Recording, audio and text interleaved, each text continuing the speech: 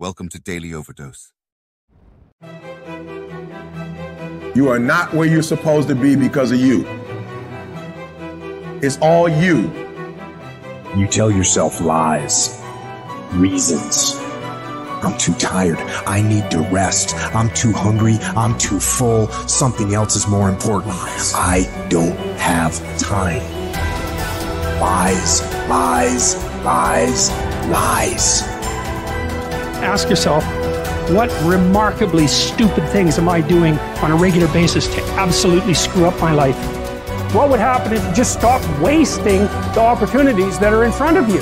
Because you're not everything you could be and you know it. If you keep thinking the same thoughts, keep demonstrating the same behaviors, keep living by the same feelings and emotions, your personal reality is going to stay exactly the same. But if you have new thoughts that lead to new choices, that demonstrate new actions, that create new experiences, that cause you to feel differently, you will begin to walk into a new future. I need you to confront you because you're the one holding you up.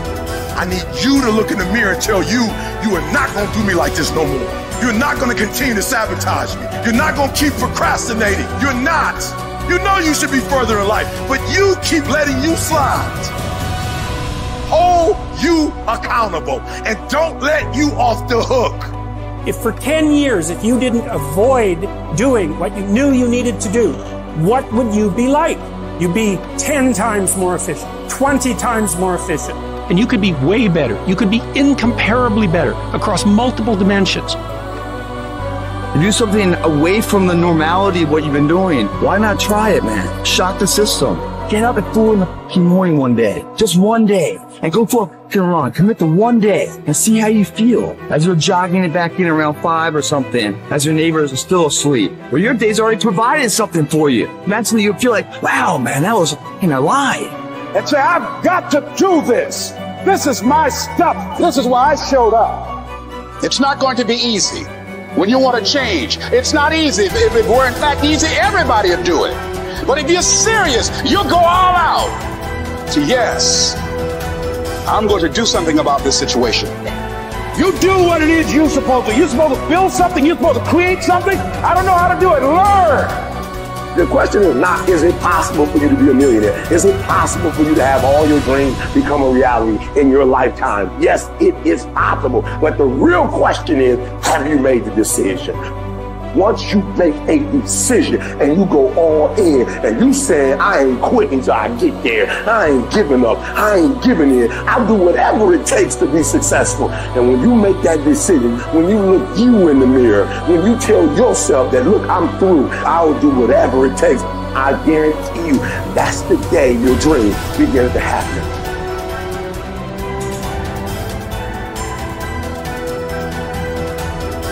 So then, when you have a purpose or a vision or a mission or an intent that's bigger than you, it means it signifies something that's ongoing.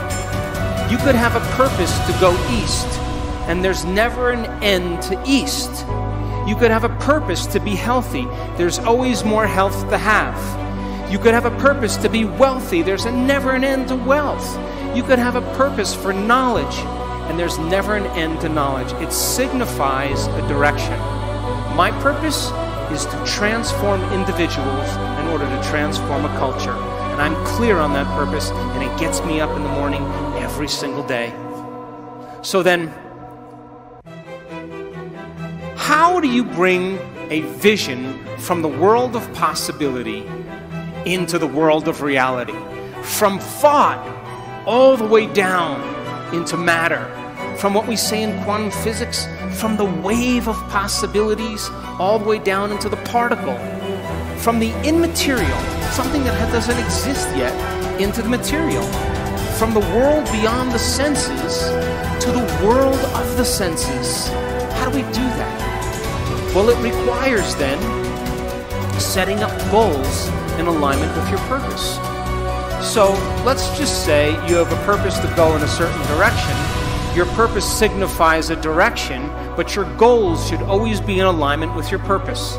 And people who have goals in alignment with their purpose, their goals are a natural side effect of them being on purpose. So then, what about getting healthy? You may say, okay, I want to lower my heart rate. That's one of my goals. I want to lose, you know, 10 kilos. I want to have more energy.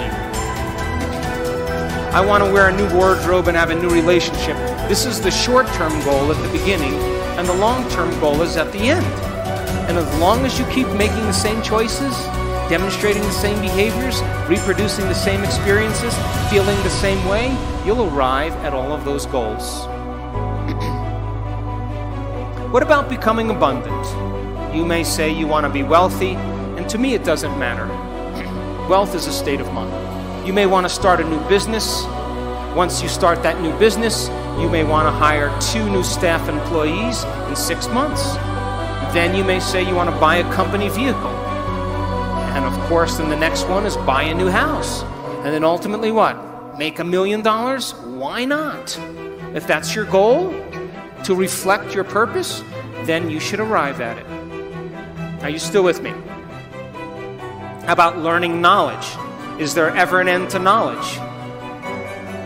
You may want to get an associate's degree. And then you may want to get a bachelor's degree. And then you may want to get a master's degree. You may want to get a doctorate degree. And then you may want to finally do research. But all of those things are alignment with your purpose, is it not? Now, I want you to understand that there is a very specific formula for excellence. And the formula requires a person who has a clear purpose. But there are two other ingredients that put this together. The first thing is called competence. You know what competence is? Somebody who does something really well. The more competent they are, better they are at doing something. The third thing is called accountability. Accountability means if you say you're going to do something, you do it. And if someone asks you to do something, you do it really well. And if you combine a person who's on purpose with a high level of competence and accountability, you have excellence in an individual. I run three companies, and all three companies, my teams are very high on their purpose scale. They better align with my purpose. They have very high level of competence and they are very high on the accountability scale. And I don't even bother them. I never even manage them. Because if they're not competent, accountable, and on purpose, they're going to stand out with the rest of the culture, and other people are going to be doing their job, and they are not going to keep up. And I say to my staff, I run an Olympic level team. You have to be able to play at an Olympic level. If you can't be competent and accountable on purpose, there's nothing personal. We just have to cut you because we're moving at a fast pace. Be someone who is cool under pressure. Value serenity instead of outrage. It seems that our culture is moving in the wrong direction here. If you are blessed enough to not be on social media, you might be surprised to learn that the angriest, most passionate public figures are rewarded with the most clicks and biggest audiences. Our culture has begun to confuse passion with substance, reward the loudest and angriest voices, and thus incentivize behavior wholly at odds with Stoic wisdom. The number of decibels your voice hits as you scream about how right you are is not necessarily an indicator of how much sense you are making. As a society founded on reason and Western Enlightenment ideals, we must hold ourselves to a higher standard. We have to collectively stop allowing emotion and passion to pass for reason and factual debate. The media's goal is to literally challenge your ability to be still. A tough American intent on improving upon their current self, is not tricked into an emotional reaction by these headlines. You do not write an angry tweet. You do not hurl an insult. You are cool and measured and skeptical. You are curious what the agenda of the journalist might be what facts or context they might be leaving out. You seek out a different story on the same topic from an opposing view, and you find out that many of the claims made in the original story were convincingly debunked. And just like that, you are a Zen master of stillness and stoicism. I will not quit in the face of danger or pain or self-doubt. I will not justify the easier path before me. I decide that all my actions, not just some matter. Every small task is a contribution toward a higher purpose. Every day is undertaken with a sense of duty to be better than I was yesterday, even in the smallest of ways. I seek out hardship. I do not run from pain, but embrace it, because I derive strength from my suffering. I confront the inevitable trials of life with a smile. I plan to keep my head to be still when chaos overwhelms me. I will tell the story of my failures and hardships as a victor, not a victim. I will be grateful. Millions who have gone before me have suffered too much, fought too hard, and been blessed with far too little for me to squander this life. So I won't. My purpose will be to uphold and protect the spirit of our great republic knowing that the values we hold dear can be preserved only by a strong people. I will do my part. I will live with fortitude.